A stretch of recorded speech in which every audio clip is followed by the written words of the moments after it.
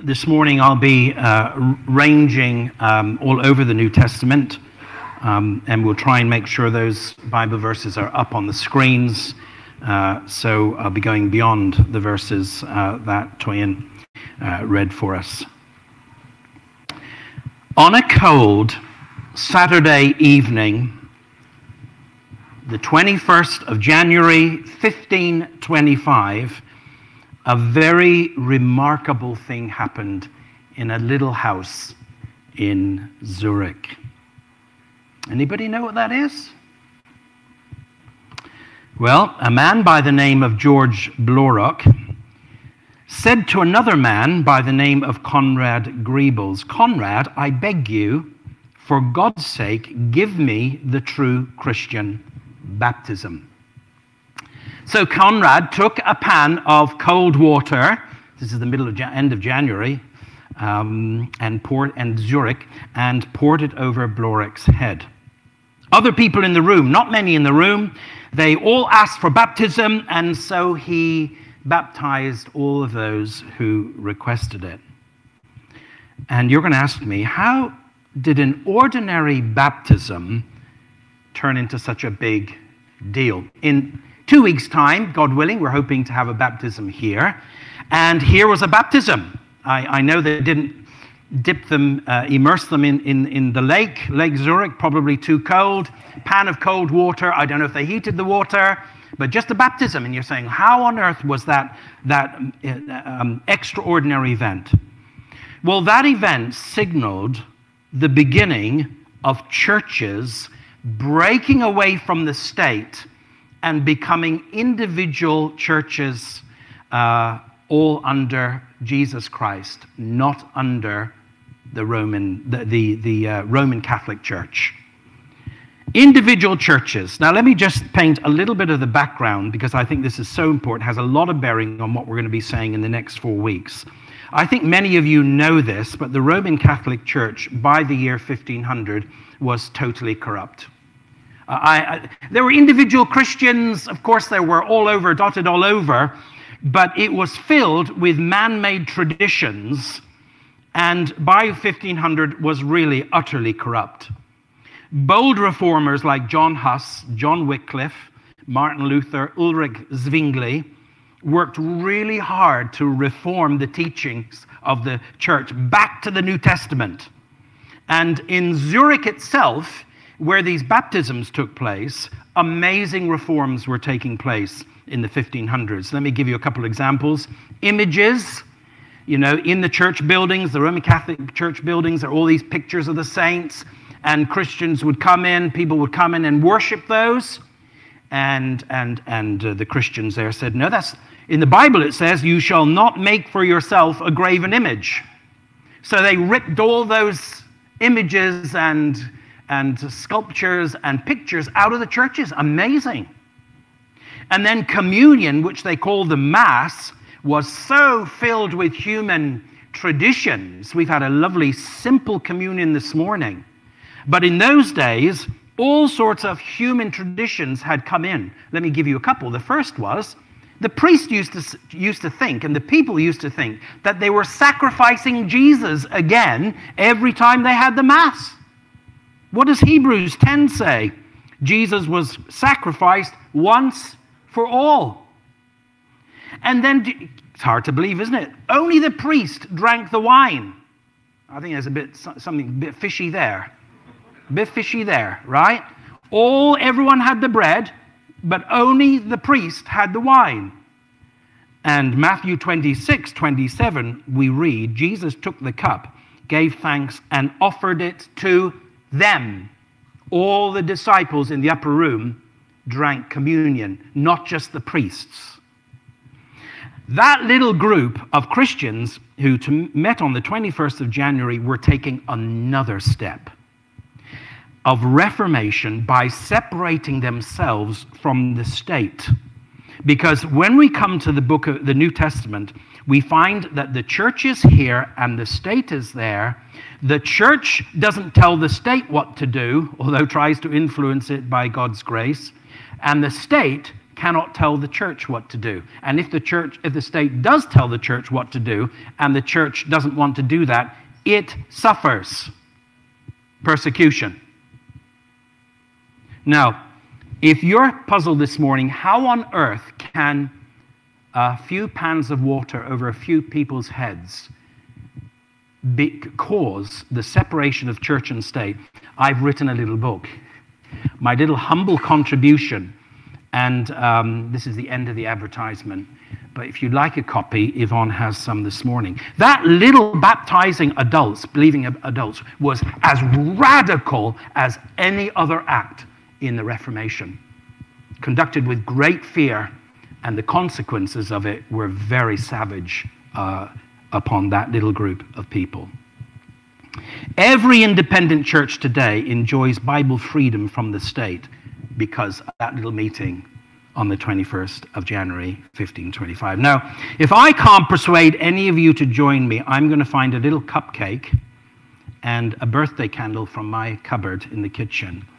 And next January, the 21st, it's just around the corner, it's Tuesday, next January, I'm going to have a little anniversary, 500th year anniversary, all on my own, unless Nathan wants to join me, because um, that will be 500 years. In 1517, okay, in 2017, people celebrated the great uh, Martin Luther's Reformation when he nailed the theses on the door of the church in Wittenberg saying, I want to debate all these things that are wrong.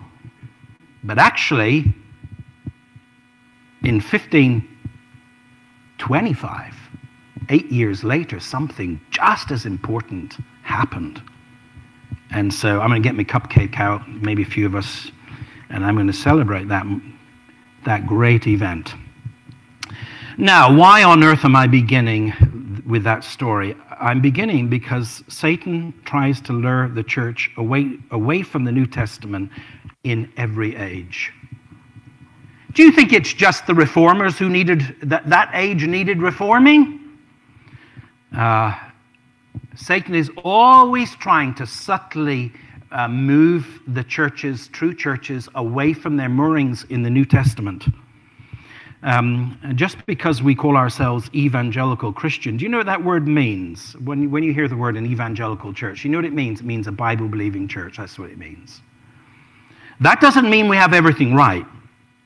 And from time to time, it is both humble and wise and prudent to prayerfully look at ourselves and ask do we look like the church of the New Testament? Have human traditions unwittingly been brought into the church from the world and by God's grace need changing. Um, I gave an example last week uh, in, way, uh, in, in which the evangelical church has been led astray by the world in recent years. We play the numbers game. Out there in the world, numbers are everything. All secular judgments in the world are made according to the rule of numbers. Pop stars are judged by how many fans they have. People are judged by the number of pounds in their banks. And the evangelical church, that's us, churches and teachers are judged right across the board with no exceptions known to myself by how many degrees they have, how many books they have authored, how big their churches are, or how popular they are.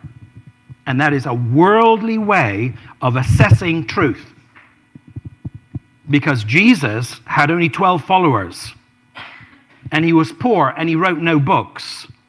And I think to myself, he would be completely overlooked by many people in our modern evangelical church.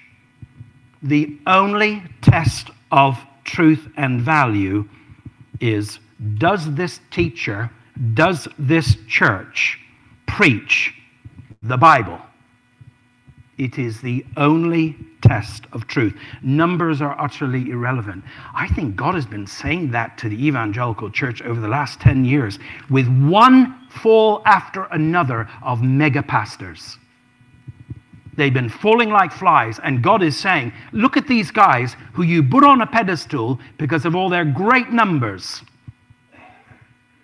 It's time to reform yourself and begin looking at everybody and every church, nothing to do with numbers, but everything to do with how they line up with the teaching of God's Word. So, um, for four Sunday mornings, we're going to be reformers. I hope that's okay. We are going to use the four core principles that we've included in all our vision statements for many years as our Reformers Charter. If you, have never come across this document, every three years, um, the, the elders get together, we prayerfully think about where God is leading us, and uh, it's not set in stone. Who knows where God may lead us even next year? But it's wise to begin thinking prayerfully about where to go. And four core principles are there in all of them. If you don't have a copy of that, go to Russ and he'll give you a copy. So we're going to use those four core principles roughly as our guidelines. So I have three reasons for this mini series of sermons, four sermons only. Today, next week, baptism then two, other, two after that. First of all, to reform our thinking on what the Bible teaches about the church. That's our main focus, okay? It is not really about other doctrines, uh, but our doctrine of the church. Secondly, to remind ourselves of where we all stand on the church. It's wonderful to have new folks uh, join us, and we all want to be united in our vision of what the local church is. And thirdly, this term is likely to be quite a momentous term for us as a fellowship. We are too large to facilitate the family feel that we find in the New Testament. So, as many of you know, we are working towards a church plant, God willing, in Malvern. So, all of us need to understand why we are doing this. Those who will leave us and those who remain, why not just become bigger and bigger and bigger? because we are convinced that smaller churches serve the purposes of God's kingdom better than larger churches. You may not agree with that, but that's how we believe it. I don't know if you ever bought toys from our Toys R Us, did you? It's all shut down now, isn't it? But um, um, I thought I'd make a new logo for us. Okay? So let me call you. Is there somebody here who wants to join the church plant at Malvern? Who wants to stop coming here on a Sunday morning in January and start wants to join that church. That's our passion. Our passion is, the, is to have small churches where everybody knows everybody and where gifts can emerge rather than in a big church where you, you kind of think, oh, I, I, I think I have that gift, but I'm sure John's got a better gift than I do, or Jane has a better gift.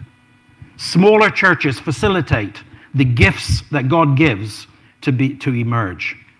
So I'm going to be challenging you on many occasions in the last, next four weeks. Um, please leave Manor Park Church.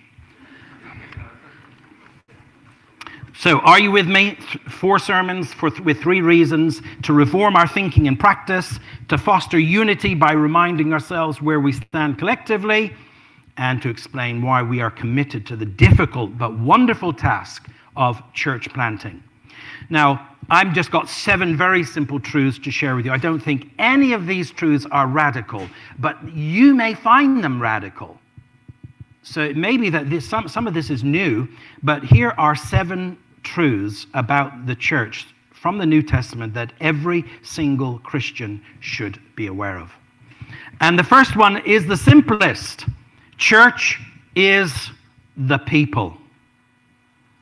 You know that in the New Testament, the word church is used in two ways, and both of those ways refer only to people. So, the first way the New Testament uses the word church is when it's describing a little local gathering like this group. To the church of God in Corinth, to the church of God in Galatia. So, there, Paul is writing to a group of Christians. And then the other way this word is used is to describe the global church of everybody who's ever been converted and everyone who ever will be converted. The whole church that one day we will only see in the world to come. Ephesians 5:23 Christ is the head of the church. Now, in both of those uses in the New Testament, the word church only refers to people. Now, you say, why do I begin with this ABC truth? Because out there in the world, the word is used wrongly all the time. Buildings are not churches. We got that straight? They are buildings where Christians may meet, but churches are not build, buildings are not churches. Only flesh and blood, not bricks and mortar, can be called a church. So the world's got it wrong. Denominations are not churches. Church of England or Methodist Church. Those are human, man made institutions, whatever you think of them. But only flesh and blood can be called church. And we all got that clear. The only entity in the New Testament that can be called a church is a group of flesh and blood people who are believers. Now, uh, I hope that it's not radical to you, but it might be. And one very simple application is we do not need a religious building to be called a proper church. I am delighted that Manor Park Church, 25 years old next year, uh, doesn't own any property. I think it's a wonderful thing. I think it's a wonderful thing. That's exactly what all the churches in the New Testament were like. None of them owned buildings. All of them met in homes or right at the beginning in the temple courts. Do you remember that? Many church plants, can I just say this, who start off in homes or community centers or schools, pine for the day when they become a proper church, by which they mean when they get their own building. I've come across that so often. A little group, and they've been meeting for 10 years in a little hall, and they're thinking, oh, we're not really a proper church because we're not like this church or that church with a building. That's wrong thinking. They are the church, and you do not need a religious building to be a church. We need to be very clear that because church is people. Simple one. Number two, church is about people who have been called out of the world. Do you know the Greek word that uh, when you read the, the New Testament is written in Greek? And so when you read the word church, underneath that in the Greek, it's ecclesia. And ecclesia is a compound word from two other Greek words, ek, out of, from, and kaleo, called out of. Called. Called out of. Church is made up of people who have been called out of the world. That lovely verse, isn't it, in 1 Peter? God has called you out of darkness into his wonderful light. light. So, church is a group of people who've been called by God out of the world to meet together in a brand new community called the church. Uh, did you know that according to the New Testament, there are only two groups of people in the world? There's the world, and there's the church. That's it. All of mankind is divided right down the middle, not this room, right down the middle between the world and the church. You are either in the world or you're in the church. Jesus is praying, They are not of the world, even as I am not of the world. Christians are ecclesia. They have been called out of the world to be a unique and new community. And there are two applications for that. First of all, we are not born into the church we are called by God into the church. If you were born into a Christian home, that does not make you a Christian. Lovely to have some of our young people being baptized in a couple of weeks' time. And uh, what they're recognizing is it, it isn't being and it isn't being born in a Christian home that makes you a Christian. You have to have heard God's call, and his call comes through the scriptures, comes through preaching. One day you hear God calling you through the gospel and you respond in, in faith and repentance and obedience. The second application is two groups of people in the world, church and world. Who are your best friends? If you are a Christian here this morning, and uh, you, th- therefore your new community ought to be made predominantly up of the church. Of course, we're in the world during the week, we have to share the gospel with the world. Sometimes we live with unbelievers. But the people who we love the most and hang out with the most must be our church friends. If that is not true of you, I need to say you need to do something about that before the world pulls you away. I love your church, O Lord. This is a hymn. Her saints before you stand, dear as the apple of your eye and graven on your hand. I love your church, O Lord. Can you say that? Who, who, who, who are the people you hang out with most Monday to Saturday? It ought to be God's people. And if it isn't, you do need to change your ways. You need to make friends of God's children. Moving swiftly on, what is so special about the church? Church is much more than people. The church is gathered in the, is people gathered in the name of Jesus. Jesus, when he went to heaven, Matthew 28, the end of that chapter, some of my favorite verses. Jesus is going back to heaven and he says, Behold, I am with you always. Jesus says, I'm going to be with you always to the end of the age. And, and you think, well, how on earth can Jesus be with me when he's gone to heaven, ascended, glorified? He's not in this world anymore. Well, he sent his spirit. Don't you know that you yourselves, Paul says to the whole gathered church, are God's temple and that God's Spirit dwells in your midst? 1 Corinthians 3.16. The, the Bible has these two, two teachings. You individually are the uh, temple of the Holy Spirit. I am, you are. And then we corporately, whenever God's people meet, are also the temple of God's Spirit. So Jesus can say, Where two or three are gathered in my name, I am there. How is he here today? How is he here today? He's here by his Spirit.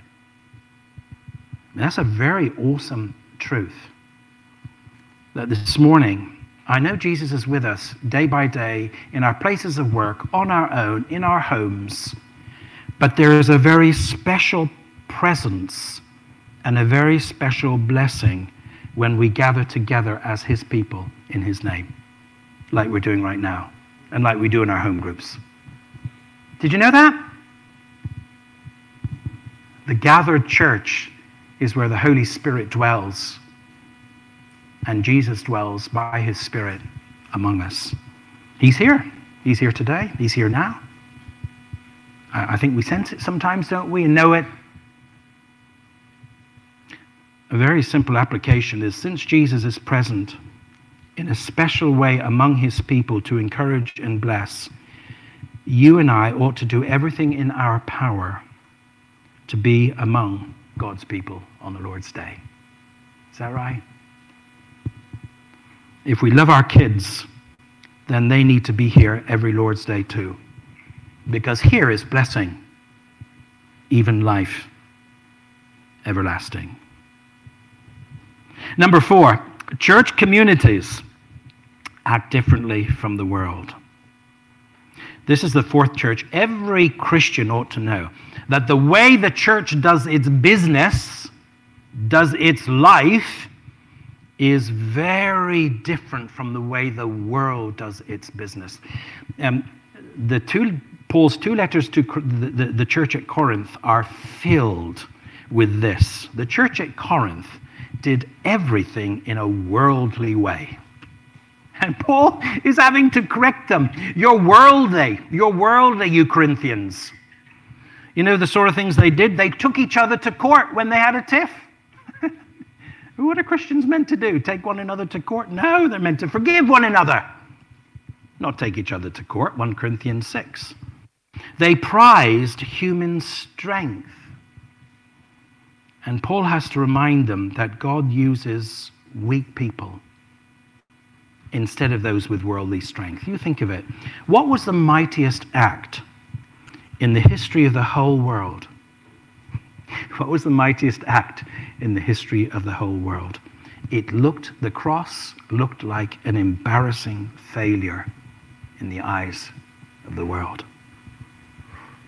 For the weakness of God is stronger than man's strength. This, this Corinthian church was all into powerful people and strong people, and they were probably neglecting the weak people, weak people in their congregation. And Paul has to remind them the weakness of God is stronger than man's strength.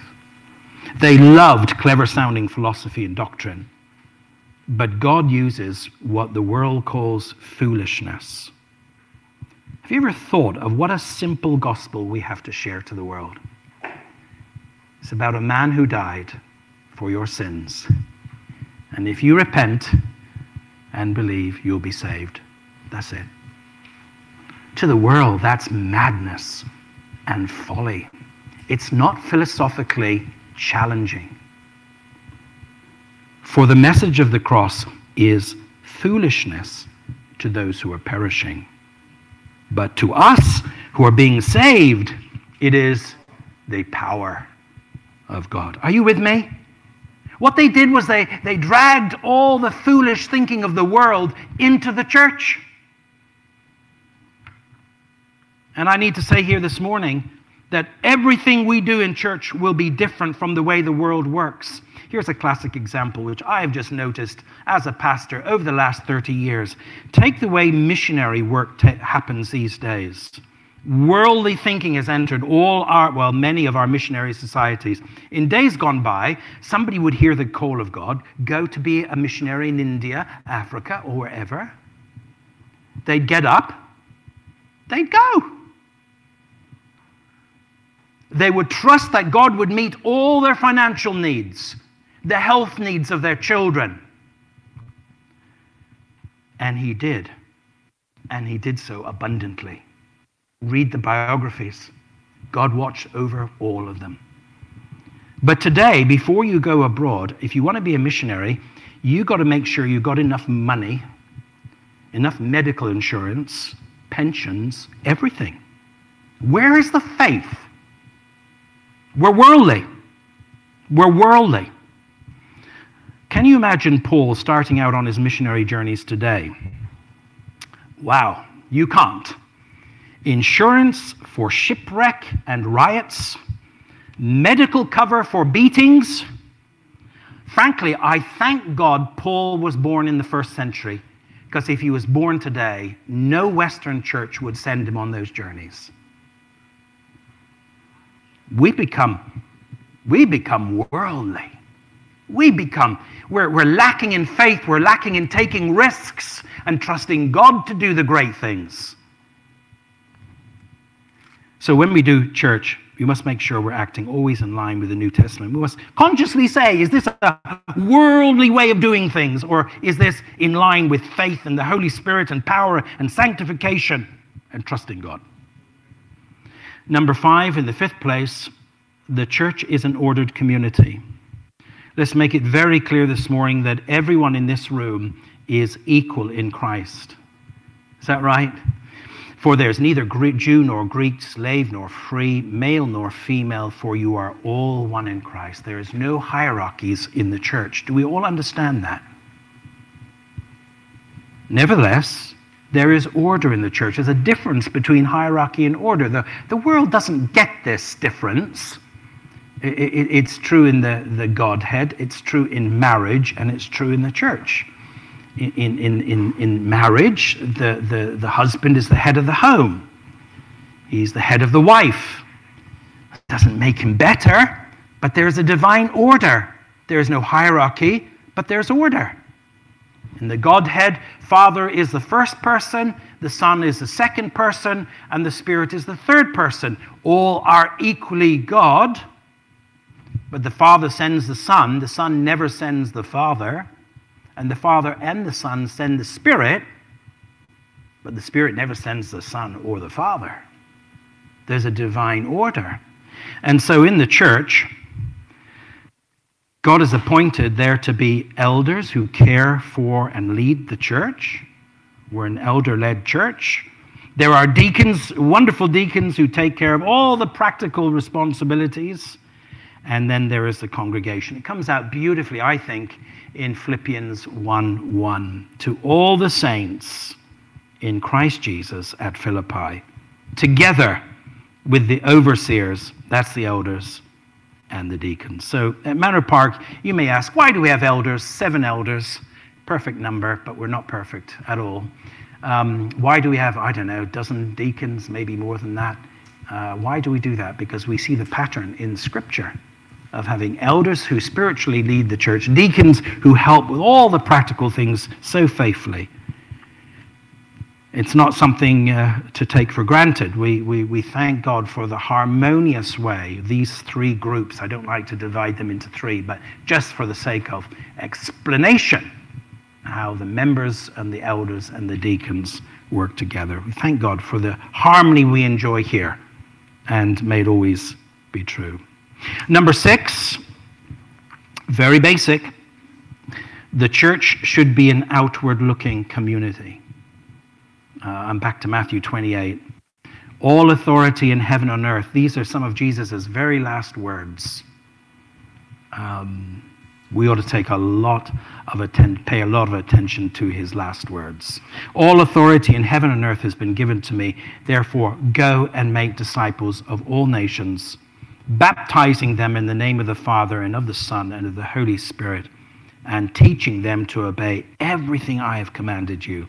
And surely I'm with you always to the very end of the age. Go and make disciples of all nations. That's the mandate God has placed on the church. Someone once said, Have you heard this? That the church is the only institution in the world that exists for the benefit of non members. Have you heard that? The only institution. All the other institutions, golf clubs whatever, they exist for their members. But the church is the only institution that exists for the benefit of non members. Only partially true, isn't it? It's only partially true. Because the church exists for the encouragement and comfort of all its members, but we are called to love and welcome those outside. And I trust that drives all our outreach. You've got that sheet. There are five, five meetings this term where they're a little bit easier to, more accessible. That's it. The nice, pretty color one. Is there someone you could invite to one of those? A friend, a relative, a neighbor? Be bold because our task is to reach, eh, make everyone disciples, invite them in. Are you with me? I'm almost finished. The church's people called out of the world, gathered in Jesus' name, acting differently from the world, an ordered community with members, elders, and deacons, outward looking, and finally and supremely, the church has only one overall leader, one head, and he is in heaven. And he, Jesus Christ, is the head, not a head, he is the head of the body, the church. He is the beginning and the firstborn from among the dead, so that in everything he might have the supremacy. In the New Testament, I want you to see this next slide. I want you to see the model of the church. Oh, can you see that? Oh, can you see that? In the New Testament, we have lots of little individual churches they're all governed by their own local elders, and they are accountable only to Jesus. There are no bishops, there are no popes, there are no archbishops in the Bible. Can you get that? They're, we're there, we're one of those groups. And as a group of God's people, we are accountable only to Jesus Christ. There are, so, so here Paul, he's, he's leaving the church at Ephesus. He's talking to the leaders keep watch over yourselves and all the flock of which the Holy Spirit has made you overseers. Be shepherd of the church of God, which he bought with his own blood. The Bible knows of no bishops, no national leaders, no denominations, no popes, just lots of little churches and we all have fellowship with one another, but we are accountable only to Jesus. The Bible knows nothing of popes, nothing of denominations, nothing of archbishops. These are man made traditions whose authority you and I do not recognize. I do not recognize the Bishop of Worcester as my spiritual leader. I do not, hallelujah, um, I do not recognize the Archbishop of Canterbury as my leader. I recognize only Jesus Christ as my head. So that might be radical to you this morning. The Bible knows nothing of these man made traditions. Do you know why God has designed the church without any human hierarchies? Have you ever wondered why didn't he put denominations in there? So, like, you know, you got seven churches, and then there's a bishop over them, and then there's another seven over here. I think I can move. And there's another bishop over them, and then there's like a su in the intermediate bishop, and then there's a kind of a high bishop and a top bloke. Why has God not designed the church like that? Because the very best Christians you will ever meet, including myself and every preacher who has ever lived, are imbalanced to some degree, partial, prejudiced, limited, parochial, nepotistic. I've got all these words down, words down. Selfish, imperfect sinners. You cannot trust power to any human being. And I think God's been saying that to the evangelical church. I don't know if you keep up with the news. One after another, the big shot leaders in the evangelical church have fallen in the last 10 years. As if God is shouting out, drop all these big guys. Stop thinking as the world thinks. In the Bible, we just have little local churches, another one and then another one, and they are not accountable to denominations. They are accountable to Jesus Christ alone. The other reason God hasn't designed hierarchies, because as soon as one guy goes at the top, he makes all of the others underneath him stumble. God knows what he's doing when he designed the church. And he doesn't want any human institutions to come in the way.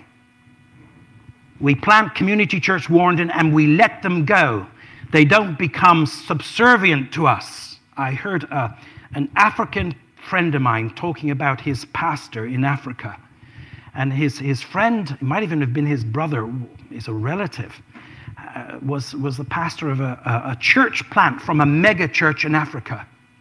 And that little church plant was being demanded by the mother church for money. They were being told by the parent church what to teach every Sunday. Talk about human hierarchies. It's worldly. You plant a church and you let it go. That's what Paul does. He plants a church and he lets it go. He trusts the Spirit to lead them. You don't set up new hierarchies in which all of a sudden the person at the top goes astray and everybody else also goes astray. We really need to understand this last one that there is only one head of the church and he's invisible. He is the image of the invisible God, the firstborn over all creation, absolutely loving, with no prejudices and no biases and no errors and no imperfections, the one by whom and for whom all things were created, the one who was before all things and in whom all things hold together, the one in whom God was pleased to have all his fullness dwell and through him to reconcile to himself all things, whether things on earth or heaven, by making peace through his blood shed on the cross. And to him and to him alone be all the glory forever. Amen. Amen.